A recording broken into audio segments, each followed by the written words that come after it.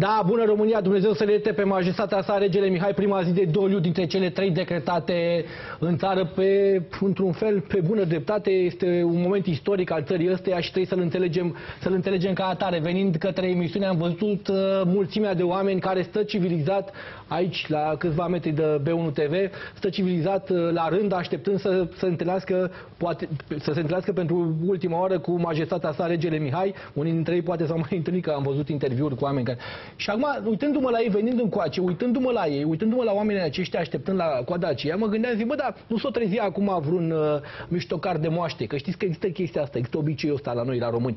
Nu, nu, nu are nimeni simțul umorului, nu vine nimănui să râde de oamenii aceștia care stau la coadă la moaște, adică nu, nu trece nimănui pe cap, nu știu, că tot felul de oameni bezmetici până la urmă, și și mă gândeam, nu, nu vine nimănui ideea asta. Că am văzut când în momente de procesiuni de, se găsesc tot felul de miștocare. Uite, de data asta parcă mi s-a părut că s-a comportat uh, lumea într-o oarecare civilizație. E vorba despre un simbol, oamenii stau să se întâlnească cu acest simbol în care noi credem. Noi credem în, în acest simbol, în această emisiune cel puțin ați văzut că noi, ne, uh, noi suntem dintre aceia care credem în importanța majestății sale, regele Mihai.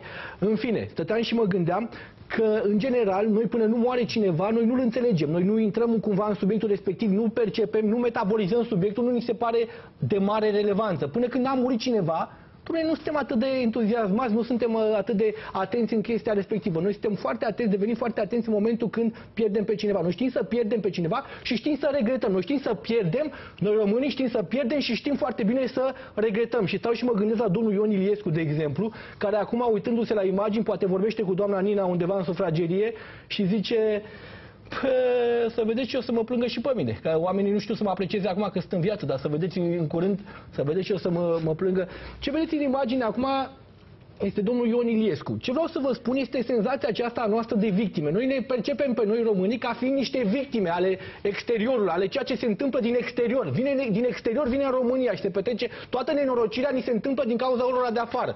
Până în 90 erau rușii care erau nenorociți. Acum, apoi a fost o perioadă, nu știu ce, s-a discutat, nu știu, Petru Roman francezi era acum, nu știu, tot felul de străini care sunt considerați responsabili pentru ceea ce ni se întâmplă. Bună seara, Răzvan Zanfir. Bună seara. Uh, pe de altă parte, nu, ca să, așa... Nu vrei să întoarce, întoarce imediat, dar vreau să... Păi... Domne, ce vreau să vă spun, să vă dau o veste teribilă. Nu știu dacă v-ați dat seama. Și Petru Groza, și Ion Iliescu, Dom'le, toți erau români. Deci toți oamenii aceștia care au determinat întâmplările în care trăim acum, toți erau români. Tot ce ni se întâmplă acum, ni se întâmplă din cauza noastră. Adică cu noi s-a lucrat, cu, noi, cu niște români s-a lucrat. În continuare se lucrează tot cu niște români.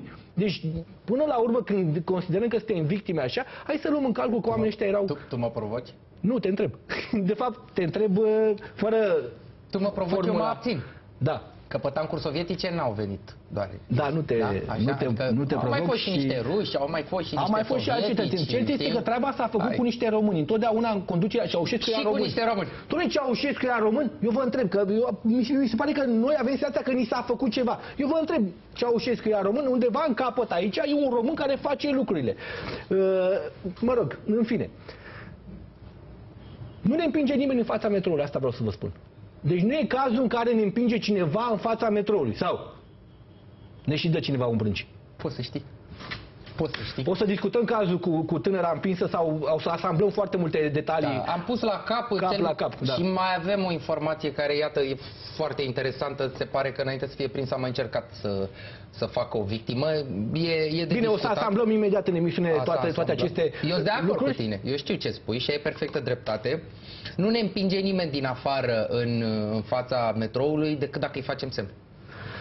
Hai să vedem ce s-a întâmplat, uh, s-a întâmplat aseară, pentru că așa cum veneam încoace către televiziune astăzi și am trecut și am văzut mulțimea aceea de oameni care așteptau să intre la majestatea sa, ieri am prins, am prins exact momentul în care uh, mă rog, a venit, a intrat uh, cortegiul funerar în, în Palatul Regal.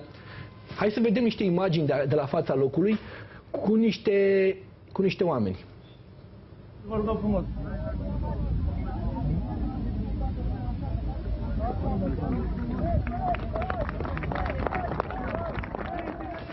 Da, imaginile, imaginile sunt filmate de uh, un amator, adică de mine. Am luat frumos, dar nu mai aveam spațiu foarte mult pe telefon. Dar am, prin, am, am, am salvat și le dăm jos burtiera când le dăm. Am salvat exact, am uh, filmat exact momentele esențiale. Deci oamenii se ambalaseră acolo în ideea că să-l vadă pe rege. Deci era acolo o buimăcioală de aia să-l vedem pe rege. Oamenii nu vreau să fie acolo. Nu. Oamenii vreau să-l vadă. Că altfel te duci degeaba. Da, erau oameni văzut. Ai văzut sicriu? Nu. Nu. Ai stat ca prost, fete. Am stat, am așteptat Am jumătate de stat, oră, am n-am stat, văzut am stat sicriu, n-am 45 văzut... de minute am stat. 45 de minute Când am am stat. văzut că n-a apărut, m-am dus acasă, stau așa ca M-am dus, prost. dar comentam, am văzut oameni plecând, plecând un pic dezamăgiți, domnul, nu s-a văzut nimic. Nu s-a văzut nimic, nu mergeți că nu s-a văzut nimic. Ți-am povestit uh, momentul meu cu observatorul astronomic? Nu știu dacă ți l-am povestit. Hai, îl vedem la televizor, dar nu e același lucru. Imagine sunt Nu, e live, același sunt lucru. acum? Ce Sunt se imagini imagine acum direct. la câțiva metri de B1 TV? Așa, zic cu... Da, sunt imagini. de- Păi nu știu, când îmi spuneai așa că oamenii se Oamenii întrebau vor să dacă au vadă. văzut, îți spun că la un moment dat uh, am Da. pățit și eu ceva de genul. Nu știu de ce m-a apucat să-și cultura, Da. stătea la coadă la observatorul astronomic, era coadă, pare probabil era rău. noaptea muzeelor Îmi sau pare ceva rău de să aud genul. asta, da. Că Da. altfel nu, îți dai seama, nivelul de trai. Și a ieșit cineva, o coadă lungă, kilometrică, a ieșit cineva un pic cam trist, așa, un băiat, era în niște pantaloni trei sferturi, se uită așa, am stat ca prostul, jumătate de oră, Nu se aproape vede spre nimic, o oră. domnule. Se vede nimica că e norat, stați degeaba. Ce a fost interesant e că toată lumea a plecat. În momentul în care Deci nu când se a vede spus, nimic, bă, nu gata. se vede nimic, e norat. Gata. A plecat toată lumea. Aia e. Deci nu, nimeni n-a pus sub semnul întrebării. Stai, domnule, poate face mișto. Da. Nu, nu, a plecat. Deci era toată un timp, lumea. oamenii Cam așa traversau este. de pe o parte pe alta. M-am Se întâlnit vede, și cu- domne, ceva. Cu domnul Stelian Tănase, l-am văzut și pe domnul dânsul pe acolo, bam, bam, era un... În fine, hai să vedem celălalt material. Și ăsta mi se pare tot filmat de mine.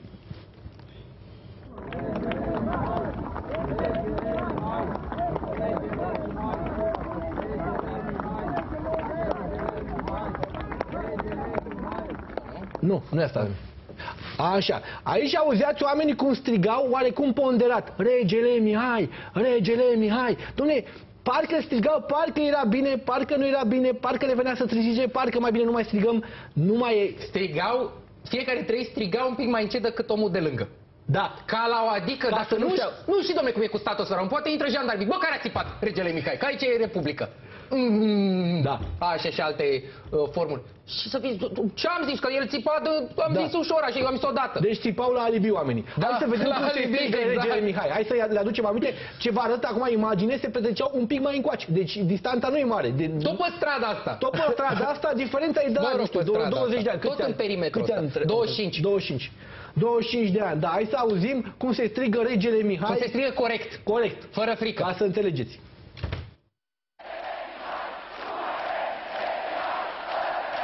Am ajuns aici la București de la Putna după 45 de ani de privilegie.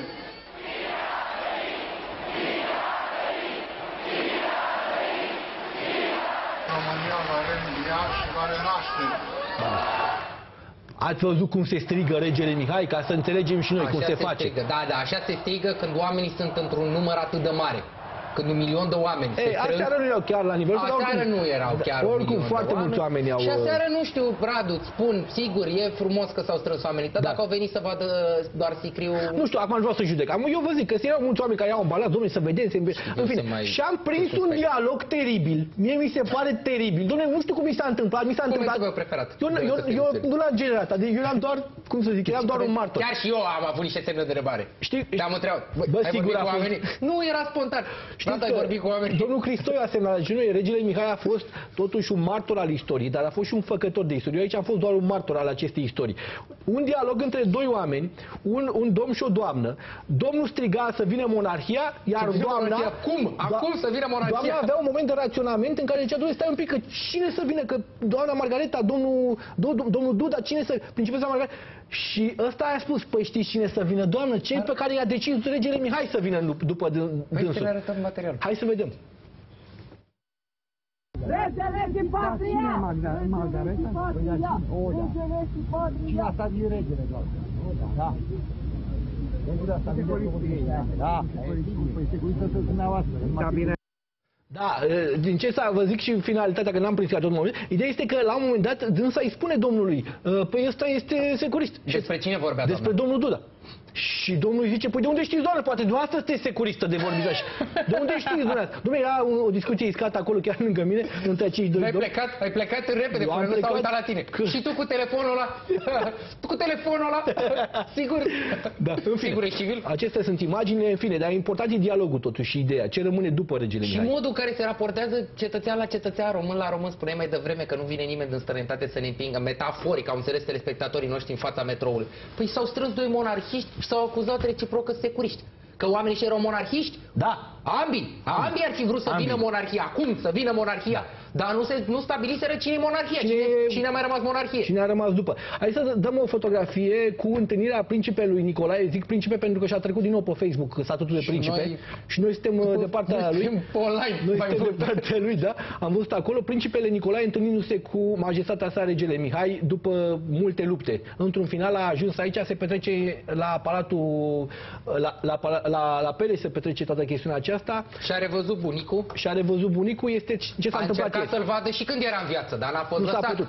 Nu Din s-a păcate. putut. Între timp s-au iscat o grămadă de, de, de, de, de discuții plecate de la momentul în care a apărut astăzi principele Nicolae la Palatul Regal și a trecut printre oameni. Sigur, e un moment de doliu, nu a intrat în discuție, nu a comunicat prea mult, dar în așa, în câteva, în câteva cuvinte, a zis la un moment dat, s-a prins pe o ambianță la un moment dat când a zis că nu se lasă și că se va lupta până la capăt și a zis Răzvan că tu ai prins mai, mai bine. Ei, e mai mult decât atât, e ceva foarte interesant pe mine. Sigur, ce a spus uh, principele Nicolae e interesant și nu e interesant, că spune același lucru mereu, că va lupta pentru statutul său, Da. că nu e o chestiune de bani, e o chestiune pe care el o pune sub semnul întrebării aceasta a retragerii titlului, Da. că nu bunicul său i-a retras titlul de fapt, dar că vor vedea, nu știu. Mie altceva mi s-a părut de-a dreptul spectaculos. Faptul că printre monarhiștii strânși acolo, Da? unii au scandat să ne trăiești majestatea. Deci s-a auzit Și această... Radu spun că eu a- abia acesta este adevăratul subiect al zilei. 1. Principele și-a scris din nou pe pagina de Facebook care e singurul său mod de a interacționa cu cetățenii, că nu face declarații, e în mare doliu și nu poate vorbi. Da. Doi, îl vedem cum se raportează, cum se poartă printre românii monarhiști. Și trei, români monarhiști strigând să ne trăiești majestate. Știrea asta n-a apărut nicăieri, dar vă spun că asta s-a strigat acolo când oamenii l-au văzut pe principele Nicolae, îți spun că este cea mai importantă știre a zilei. Pentru că Da. în momentul de față, cineva credibil reechilibrează Casa Regală. Pe, pentru că ăsta e motivul pentru un, care... uh, un principe Nicolae, nu știu, valorează cât o principesă plus, un, uh, plus o dudă. Da. Din punctul meu de vedere. Din punctul meu de vedere.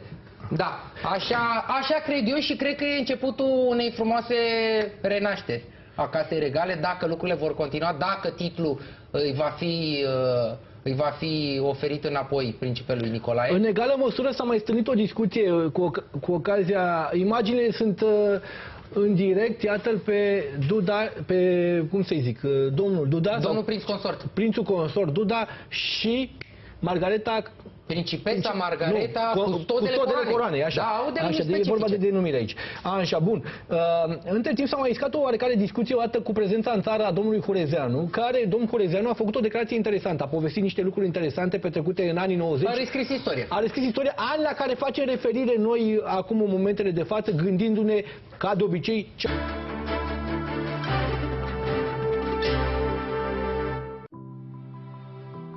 Durere de spate, de mijloc, de Ceate. Băi, ce s-a întâmplat? Ne uităm unii A la fost alții o- și așteptăm. o greșeală, da.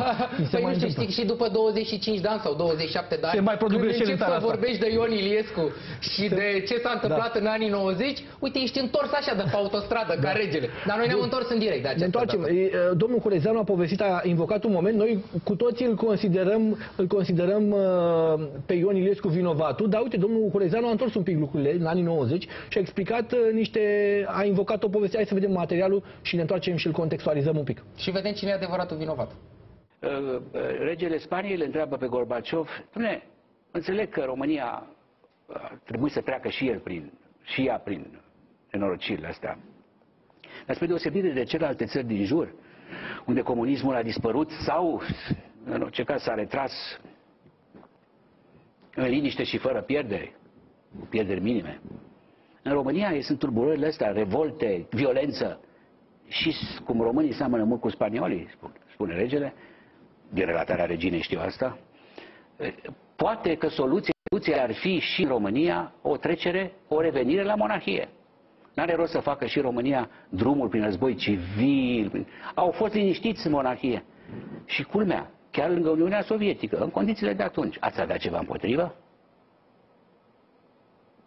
Și Gorbaciov, repet, reproduc relatarea reginei Ana. Ar fi spus, nu, nu avem nimic împotrivă. Noi nu avem nimic împotrivă. Nu știu dacă e adevărat. Dacă era sincer, e adevărat că poate că i-a spus asta regelui Juan Carlos. Se împotrivește altcineva. Și aici trebuie să spun că numele acestui altcineva nu era Ion Iliescu. Și era cineva de la București. Da. Care ar fi amenințat uh, uh, partea rusă, partea sovietică încă, mă rog, în curs de dezagregare și Uniunea Sovietică, că alternativa în a, ar fi, adică uh, rezultatul revenind la monarhie ar fi un război civil și nu, nu România, conducerea de atunci a României nu putea risca acest lucru. Da, nu, nu știu dacă știți pe Prof, cum, uh, cum, ce este Bogdan Teodorescu pentru Victor? Consultant politic. Consultantul politic Bogdan Teodorescu este celebru pentru faptul că el știe să-ți explice foarte bine. El a fost implicat în campania lui Victor Ponta când a candidat împotriva lui Iohannis. El știe deci să măcar să explice foarte bine, el poate. știe să explice... Că să câștige foarte bine păi nu, dar știe putut. foarte bine să explice ce s-a întâmplat, de ce Da. nu s-a câștigat, Dar de ce el s-a post pierdut. factum e bun așa. Noi tot timpul, noi suntem, aceștia suntem noi. Noi știm tot timpul să explicăm, să înțelegem noi ce treia a făcut atunci și ce s-a întâmplat. Dar la mulți ani după, ceea ce trăim acum o să înțelegem foarte bine peste încă 20 de Dar ani. la, tu te uiți la meciul de fotbal cu mai mult interes decât la comentariile de după? E adevărat și asta. N-ai cum, Corect. comentariul de după e esențial. Adică Cine la este cercul cel care direct, s-a opus regelui Mihai în anii 90? Petre Roman este identificat de noi pentru că am coroborat mai multe surse, așa jurnalistic, din când în când mai facem și presă.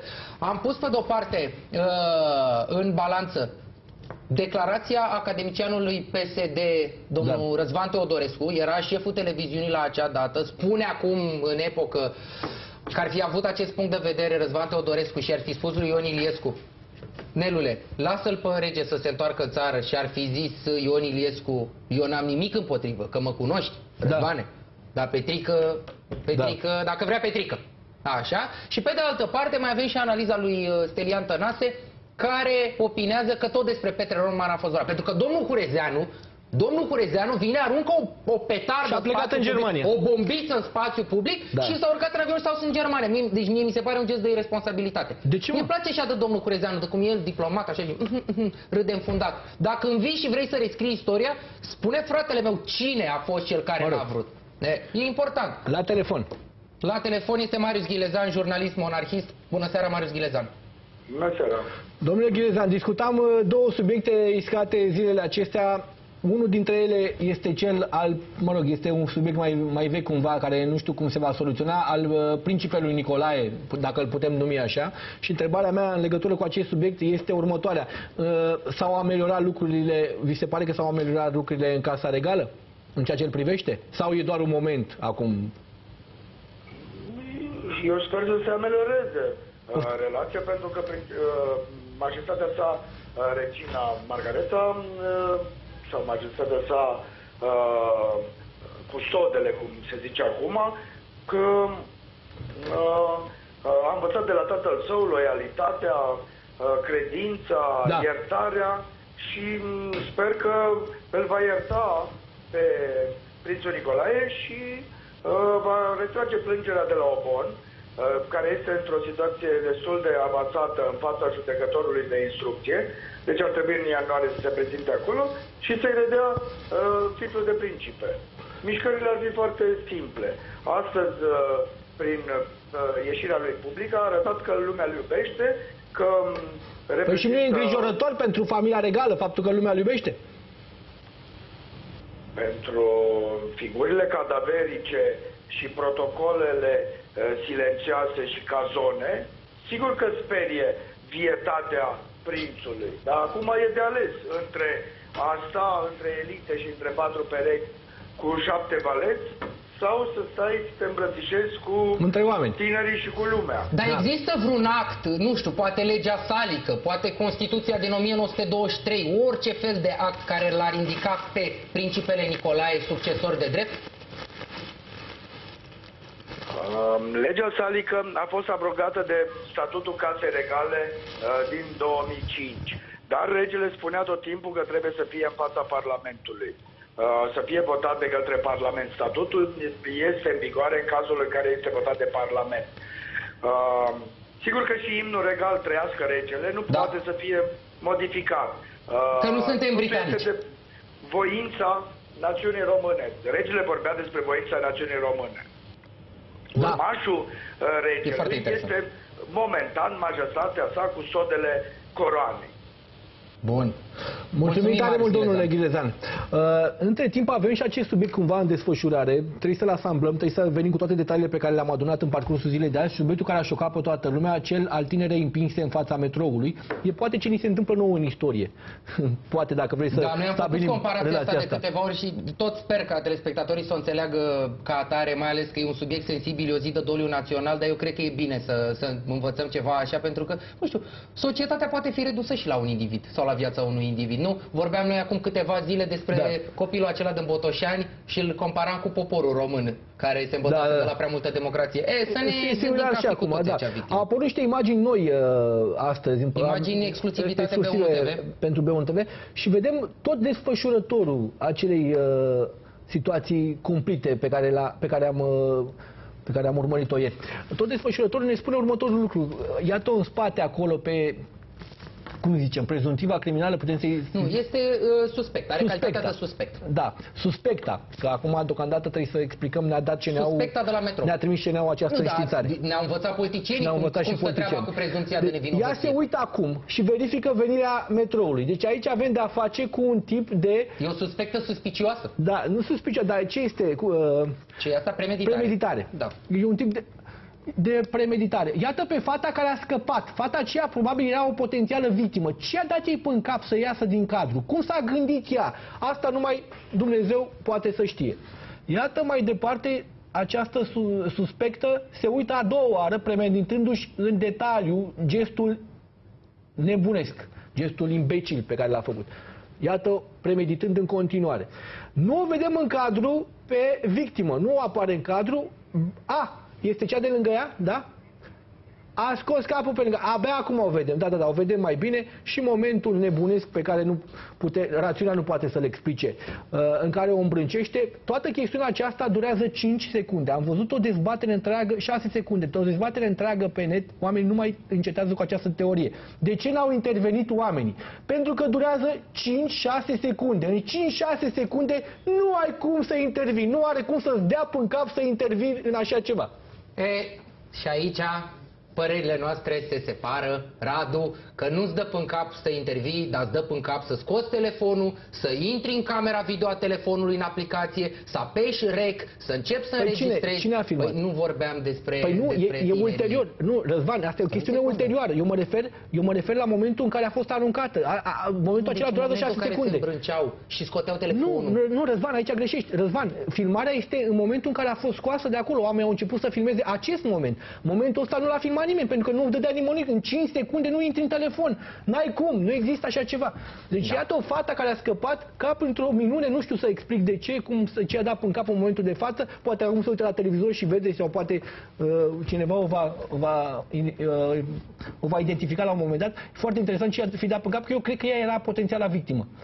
Acesta- Bine, n-au făcut nimic oamenii, spui tu că oricum n-aveau cum să facă, spun eu că dacă de la autorități n-am avut prea mari pretenții să Da. intervină în timp util, că trebuie, deci după pauza publicitară reluăm complet discuția și această victorie anunțată de poliția română va fi demontată pas cu pas, pentru că dacă aveți de gând, stimați uh, chestori ai poliției române, să deschideți sticla de șampanie după ce moare un om, înseamnă că dumneavoastră aveți o problemă mai mare decât Da, suspecta. după două, trei minute Pauză de și publicitate revenim. revenim cu, cu informații.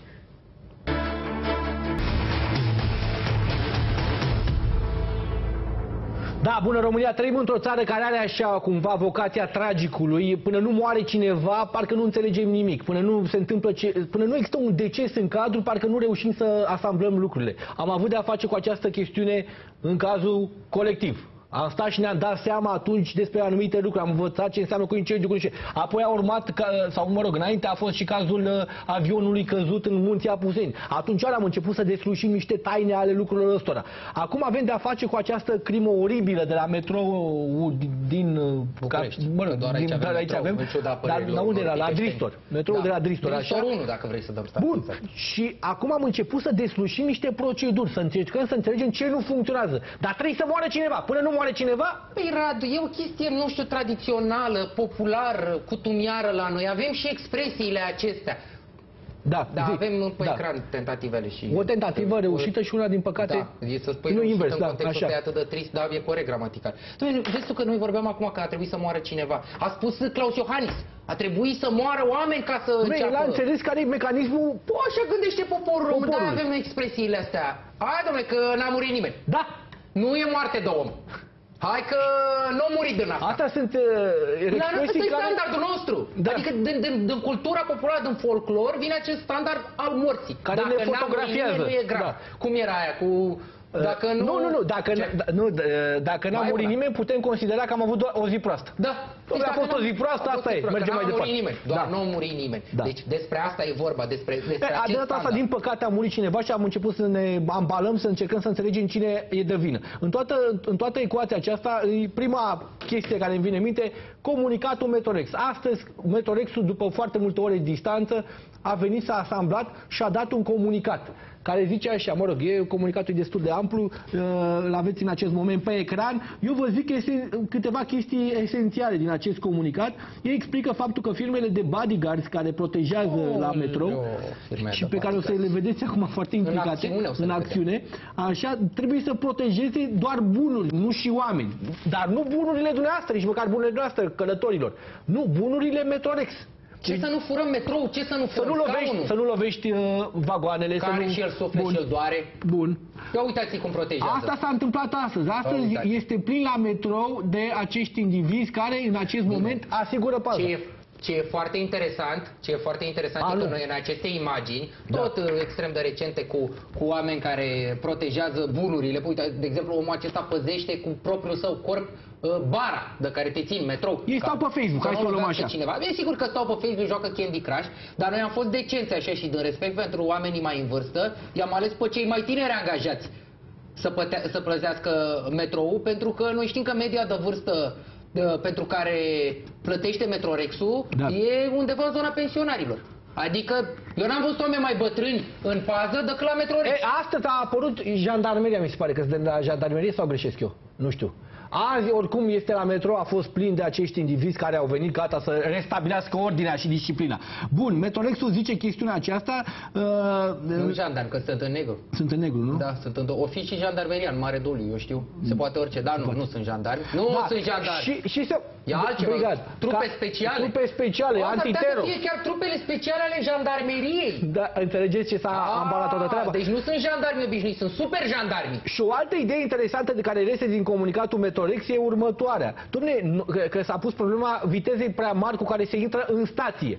Și au zis așa, domnule, stați un pic, că noi putem să intrăm și mai încet, dar voi aștepta mai mult metrou. Veți sta cu un minut mai mult la metrou. Pentru sau... dumneavoastră venim atât de De ce buni, credeți că se Doamne, grăbește mecanicul de Că locomotivă? era să-i spui conductor de Iară, și din iar greșeală. intrau pe telefon. De ce credeți că se telefon, grăbește de nebun ca să ajungă mai repede cetățenii la serviciu? Și el tot orele alea stă la muncă și nu e niciun fel de diferență. Da. Bun. Deci am înțeles cum stau lucrurile în ceea ce privește Metrorexul. Pe lângă faptul că angajează oameni foarte bătrâni, sunt oameni care oricum nu sunt angajați să vă păzească pe dumneavoastră, ci să păzească așa scaunele, gresia de pe pereți, cine știe ce. Purtătoarea de cuvânt de la Metrorex astăzi, de azi începând, este în concediu. Este, Este o în fostă PR, piaristă de la Tarom, ca să Păi da, o și rămâi în circuit, contextualizăm. rămâi acolo, la Ministerul Transporturilor, nu? Da, E faci normal? parte din circuitul funcției natură. Funcție în natură, Bun, da. și acum intervine brusc în viețile noastre din nou conflictul STS MEAI. MEAI. Mai. Așa.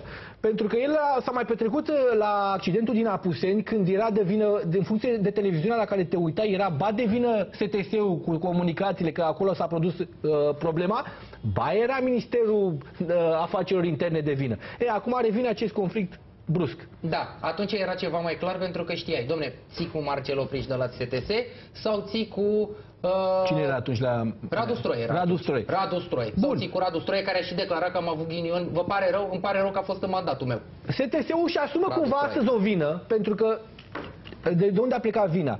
Uh, tatăl primei victime a acestei ne- nebune a sunat la poliție. A suspectei. Al suspectei. Să nu ne nu, atrevăm. nebună e confirmat că e nebună.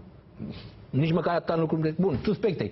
Uh, A sunat la poliție. În momentul acela ei nu, lui nu i s-a făcut legătura unde trebuie. Și aici intervine vina Ce a STS-ului. făcut? A sunat la 112. A sunat la 112. Cum, aș, cum și trebuie să procedăm. Da. Sună la 112. De la 112, în funcție de urgența pe care o avem, operatorul, care este militar, atenție că 112 e un serviciu militarizat al Serviciului de Telecomunicații Speciale, condus de un general, deci lucrurile sunt foarte clare acolo, e obligat să te redirecționeze, dar tu rămâi pe fir, către ambulanță, zmurd, poliție, pompieri, alte servicii de urgență. Nu ai tu niciun fel de... Nu e un număr pentru poliție, e un număr pentru salvare și altceva. E un număr unic. S-au lăudat oamenii ăștia și s-au aplaudat singur când au inventat 112 de parcă ar fi chiar funcțional. Ieri n-a fost funcțional. Radu. Da, pentru că această operatoare a greșit. A făcut legătura unde nu trebuie. E, și atunci STS-ul cumva își asumă această vină, dând vina pe operatoare. Este un obicei mai vechi al nostru de a fi de vină un om mai puțin relevant. S-a întâmplat la incendiul din Giulești, de exemplu, chestia asta. A fost de vină o cuconiță... Și la aflată- colectiv a fost de vină. Cine a fost de vină? A fost de vină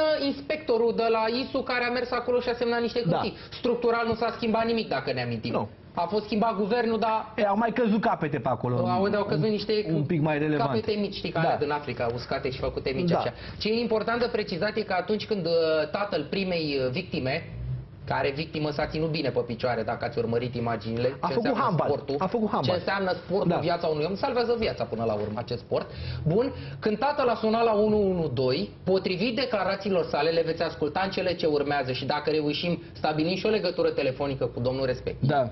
Ei bine, operatorul 112, 112 l-a trimis la stația Costin Georgian să investigheze el ca părinte, dacă e atât de nemulțumit, domnule. Că noi, ca organe ale statului, avem alte treburi. Noi suntem polițiști puțini. Și dar, poliția acolo Da. uh, avea o oarecare prioritizare a lucrurilor și anume uh, poliția uh, de la fața locului se ocupa de un caz uh, al unei doamne care a fost fura, furată poșeta. Și în mod normal când te duci într-un spital o să vedeți că există o ierarhie a urgențelor. Dacă vine un om care are un infarct, este înaintea omului care a făcut, are o mână scântită. Adică e o chestiune pe care logica o așează mai degrabă și bunul simț. E, la poliție nu s-a întâmplat așa. Doamna, domnul a stat să rezolve cazul cu, Și cu am poșeta. ascultat declarațiile acestui domn. A mers acolo și a spus, domnule, e o tentativă de omor. Fica mea a fost împinsă de o femeie în fața uh, Nu mai metroului, puțin, că acum a vorbim fugit. cu această doamnă. Domnule, Rezolvăm? Nu Rezolvăm? vedeți că am treabă? Nu vedeți că am treabă? Domnul polițist, domnule, vă rog frumos lăsați-mă să... Deci, doamnă, sigur nu v-ați uitat plasa aia acasă? Domnule, deci e o tentativă de omor. Domnule, dumneata chiar n-ai un pic de obraz. E doamna asta aici cu copilul ăsta mic. Ai două mâini, două picioare, stai acolo. Două ore. Bună Vorbim, seara! vorbim chiar în, în aceste momente cu tatăl primei victime. Bună seara. Povesteam în legătură cu situația prin care ați trecut ieri. Avem, câte, avem câteva întrebări, pentru că eu l-am urmărit astăzi pe președintele Sindicatului Polițiștilor și dânsul avea cu totul și cu totul alte puncte de vedere decât cele pe care le-a regăsit în declarația dumneavoastră. Așa că aș vrea să reluăm puțin lucrurile. Ce vi s-a spus când ați apelat serviciul de urgență 112? Când am apelat serviciul de urgență 112, mi-a spus în felul următor. Mi-a răspuns o doamnă și mi-au spus că uh, trebuie să merg înapoi la stație, la Costin Georgian, să iau legătura cu angajații, că au, ei au secția lor de poliție a metroului. Deci nu va direcționa către poliție așa cum ar fi procedura corectă. Na, Bun, nu v-a de- făcut. e o primă nu, greșeală. Nu, nu, Bun, nu, am înțeles. Nu, nu. Și când ați ajuns la poliția metroului, înțeleg că era un singur angajat acolo. Nu am ajuns la poliția metroului. N-ați Am ajuns ajuns la întâi poliția la Costin Georgian. De la Costin Georgian m-au direcționat, mi-a spus că a sunat de acolo la poliție și a zis că trebuie să merg la Unirii. Și la Unirii 2, până tot Balamul ăla, până toată aglomerația, am făcut 1000 de ore până acolo. Deci nici măcar nu știau unde anume să vă îndrume. Deci dumneavoastră în momentul de Mi-a zis față... la Unirii să mă duc. Dumneavoastră Acolo Nu, zic nu, că- prima dată, v-a trimis la Costin Georgian, dar v-a trimis Du- greșit. Dumneavoastră, Da, în da, momentul da. de față, încercați cumva să preîntâmpinați ceea ce am văzut că s-a întâmplat, pentru că fica dumneavoastră era în regulă. Deci nu mai aveați nicio problemă în sensul acesta. Bun, și ați ajuns la Unirii. La Unirii, cum a decurs uh, uh, La dialogul Unirii cu am, poliția? ne-am prezentat în față la ghișeu, la ofițerul de serviciu. Ofițerul de serviciu ne-a luat ne-a cerut un buletin, i-a spus despre ce e vorba, că fica a fost împinsă în fața metroului, consecutiv de două ori. Este o situație mai, nu știu, din punctul meu de vedere, o situație foarte, foarte gravă. Dânsul a E o înțeles, tentativă de omor, nu-mi dau seama, în afară de omor, nu știu ce e mai grav decât o tentativă de omor, din punctul meu de Nu vedere. eram uh, eu în măsură să decid asta. Sigur. Și trebuia să spună lucrul ăsta. Eu le-am spus doar ce s-a Ce întâmplat. s-a întâmplat? Și care a fost reacția Exact. polițistului? Reacția a fost că mai este o persoană în față, o să vorbească cu cel care este acolo, colegul dânsului, care era o doamnă în față cu un rucsac, cu, că au pierdut un rucsac, că era cu fata, că nu știu ce, îi lua declarații acolo. Am înțeles. Deci nu era o situație similară, nu fusese tot victima Nu, unei nu, nu, agresiuni, nu, unei nu, tentative nu. de omor. Nu, nu, nu, nu. A ieșit într-adevăr domnul polițist de acolo, mi-a spus, m-a întrebat ce s-a întâmplat, i-am spus ce s-a întâmplat, că fata a fost împinsă în fața metroului, Da? Că e o situație destul de gravă și dânsul a spus ce îmi pare rău, nu am ce să fac, trebuie să așteptați. E o doamnă în față care a studiat dreptul Deci și mă nu, tot e întreabă incredibil. una și alta. Deci eu, asta era următoarea mea întrebare. Dacă am exagerat noi sau într-adevăr chiar i-ați prezentat situația polițistului și a spus aveți răbdare că ajungeți și la tentativa de omor, eu am o geantă furată. Nu, nu, nu, nu, nu, nu, nu, nu a spus asta. Nu, nu, a trebuie spus să așteptați, exagerăm. nu. Sigur, A spus aștept, am a simplificat. spus aștept. Deci Eu v-a i-am spus să relatat. așteptați că e o doamnă în față. Bun. Și doamna avea un Da, rucsac da. dispărut. I-am relatat, i-am spus că ce s-a întâmplat, că fata a fost împinsă în fața metroului, dar nu i-am spus eu că e tentativă, că Păi, dar nu, știu dar ce, eram ca eu- polițist... Nu, când zici că a cred fost e- împinsă, e o tentativă Da, adică a tras implicit. Cu, Adică, a tras 10 gloanțe după mine. Păi, cred nu că știu dacă... înțelegeți și Da, domnia asta că e o da, tentativă. Dacă e înțeleg polițist. situația. Incredibil. Da. Incredibil. Și cam cât timp ați așteptat? În jumătate de Păi, oră. cred că peste o oră jumătate. Peste o oră și jumătate. Am Da. zis. Alarma fusese dată deja la metro? Nu, alarma s-a dat după ce a murit uh, fata. Ah, Alarma s-a dat după ce s-au văzut pe camere. După ce s-a văzut pe camere că, într-adevăr, când a deschis camera și când am fost împreună și ne-am uitat pe camere ca să vedem, deci nu am luat nicio declarație până ne-am uitat pe camere. Când Când a... am văzut despre ce e vorba acolo, atunci a, a intrat încă un coleg al dânsului, a spus, zice, trebuie să-l sunăm pe Petre, cred că șeful, așa, și atunci uh, s-au mișcat, au început să miște mai repede treburile.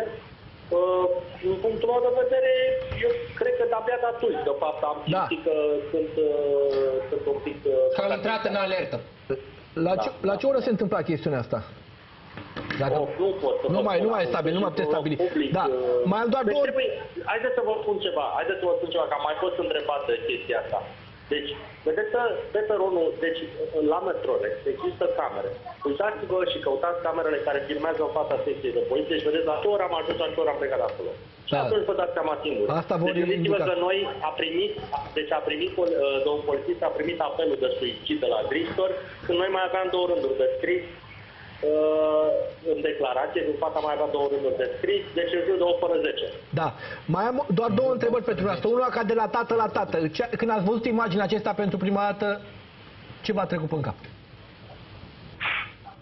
Cele mai groaznice lucruri.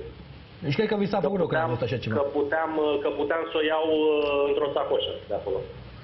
Dacă dumneavoastră nu depuneați plângere, s-ar fi descoperit că e crimă și nu, și nu sinucidere, cum s-a spus inițial, după părerea noastră? Uh, Din nu estimarea știu să noastră. spun Nu Asta. știu. Nu, nu pot să spun asta pentru Da. că mă depășește. Deci noi când eram acolo am auzit de suicid de la Dristor. Nu, nu, nu pot să spun așa ceva. Nu pentru putem că nu e afirma. corect. da. Nu, stau și mă întreb dacă s-ar fi uitat cineva pe înregistrări în timp util. Sau ar fi Da. considerat că e în consinucidere. Bun. De asta v-am întrebat. Au trecut cam Au patru trecut ore. foarte multe Da. ore și ne gândim, fără declarația dumneavoastră, fără ca dumneavoastră să fi spus că fica dumneavoastră a fost victima acestei suspecte, Da. dacă cineva ar fi verificat în ce condiții a murit tânăra respectivă. Asta era, în, în sensul ăsta mergea întrebarea. Avem oarecare schemă pusă pe ore pe ecran în momentul de față, în mare, așa, în mare fiind spus lucrurile. Uh, vreau să vă mai întreb un singur lucru. În momentul de față, fica dumneavoastră înțeleg că a avut totuși un șoc ulterior, cum e și normal după așa ceva. Dându-și Șocul seama... cel mai mare a fost în momentul în care s-a văzut filmată și a văzut exact cum s-a întâmplat. De fapt, ea în momentul în care, în care s-a urcat în tren, în metrou, a pornit în plâns și n-a ajutat pe nimeni. Aoleu! Nimeni. Deci pur și simplu nimeni și a văzut cetățenii care au fost, au văzut ce s-a întâmplat. Și dar atunci pur au trecut simplu mai mult de nimeni n-a- 5-6 secunde, Radu. Da, eu încercam să exonerez pe cetățeni gândindu-mă în, în Nu cel al mai doilea încerca. caz că nu aveau cum să intervină, erau puține secunde, dar sigur, în cazul ăsta nici nu mai avem ce discuta, Ți-am zis sigur. că scepticismul păi meu asta câteodată am e vrut să vă întemeiat. spun. Deci, Ăștia sunt hai, oameni. acolo n-ai intervenit, Da. că a strigat în uh, respectiva agresoare, a strigat că i-a luat bani. Da? Bun, n-au intervenit acolo, dar în momentul în care au urcat în metrou, erau un copil totuși, o Da. Puștoaică. puteai să intervii, vrei o cană cu apă, ai Dom'le, nevoie, te orice rog, s-ar vrei fi o întâmplat, pastilă, vezi un, vrei om, orice. vezi un om că plânge, intervii. Asta e situația. Bine, vă mulțumesc tare mult și Doamne ajută să, Plăcere. să nu Să mai treceți depășească până așa ușor ceva. șocul Da. prin care a trecut. Hai să vedem un material cu toate părerile, punctele de vedere, inclusiv al uh, dânsului, cel pe care l-am ascultat mai devreme, pentru că e foarte important să vedem ce spune și tatăl adoptiv al victimei și chiar mama, cel mai și foarte important Mama ce spune suspectei. și mama suspectei. Mama suspectei. Trebuie să, să înțelegem că asta e lumea în care trăim. Dacă mergea către casă, ea stătea împreună cu, cu prietenul ei și mergea către casă, către...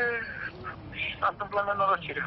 Am uh, dat buletinul fetei la ofițerul de serviciu care era acolo, ne-a spus că mai e o persoană în față. Da, am văzut și noi că era ușa deschisă, mai era un, o doamnă cu copilul, uh, dădea o declarație, am înțeles că a fost vorba de un, o geantă uitată pe un peron sau furt, nu știu ce, așa. Cert este că era cineva înaintea noastră. Ne-a spus să așteptăm afară, am așteptat afară, la vreo 5 minute a venit domnul polițist care lua declarații și ne-a întrebat despre ce e vorba, uh, în, de, de ce am venit și le-am spus că fata a fost împinsă în fața metroului cu...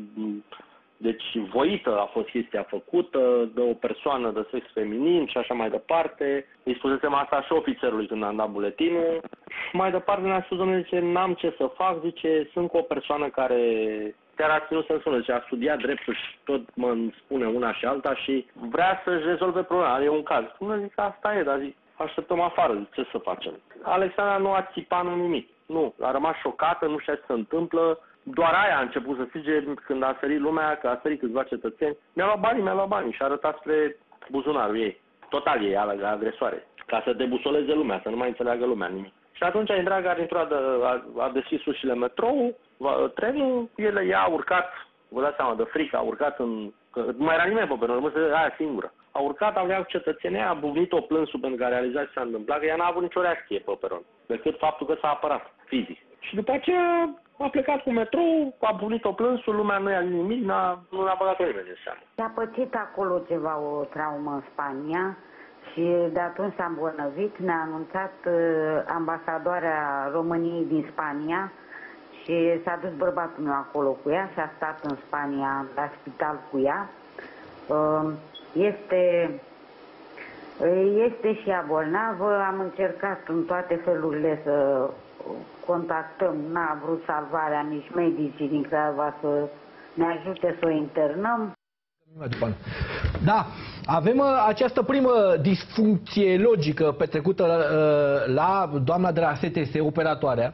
Apoi am avut poliția cu acțiunea bizară și acum ascultând-o pe mama uh, posibilei Suspecte. sus, nu, posibile, posibilei uh, criminale, așa, suspecte, mama suspectei, uh, stăm și ne gândim dacă, exact ce ne întrebam și ieri, domnule, câți Că oameni sunt, uh, cu probleme... Unul de la CNA de serviciu aici, Radu, suspecte. Și Suspecte. erau securiști în întreprindere, sunt de la CNA aici. Vă rog frumos, nu criminală, suspect. Dar Da, asta e tot terminologia. timpul punând lucrurile în ordine. Toți văzând imaginile astea, Ne e clar. avem senzația că ar trebui să spunem că e nebună, că e criminală, că e în toate felurile. Dar Trebuie până un pic de rigoare. până nu Ideea avem o este că în decizie- momentul de față, pe străzi, sunt foarte mulți oameni cu probleme evidente, diagnosticate, cu probleme psihiatrice. Și acum vin și merg către sistem. Sistemul nu îi scoate din, în niciun fel din societate, nu reușește să rezolve sub nicio formă această